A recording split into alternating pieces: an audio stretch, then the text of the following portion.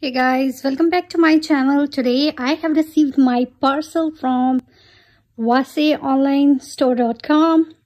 So let's see what's inside.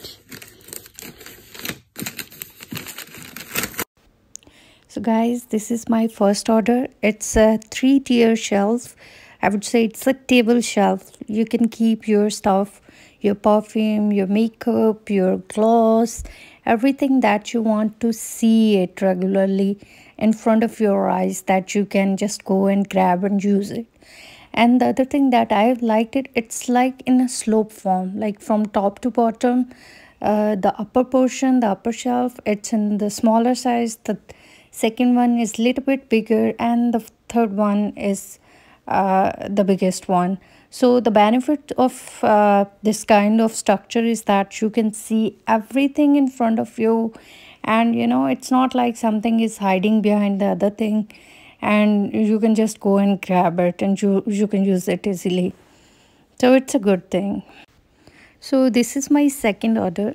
I have ordered from the same shop. It's also in a very good quality. It's made up of uh, rope and wood. The wood I would say it's a, in very good quality. It's a kind of wall hanging and you know I wanted it to keep some indoor plants in my room. I don't want to keep it on the floor because it's where can become a big hassle. So I wanted to keep it in front of my eyes where I can see it regularly and can take care of it. And together I have paid around 5200 something and the quality is not very bad but it's not like they the way they have showed it on website.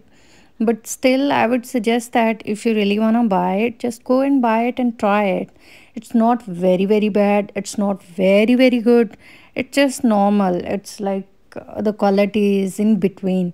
I would rank it if i want to. It would be around like 7 out of 10 but yeah it's a good thing so this is all about for today's video. I hope you like my review. Stay home stay safe during this pandemic because i have heard it's becoming so terrible. Day by day it's becoming dangerous. So stay with your family and take care of yourself. And please remember me and my family in your prayer. Till next time. Bye bye allah hafiz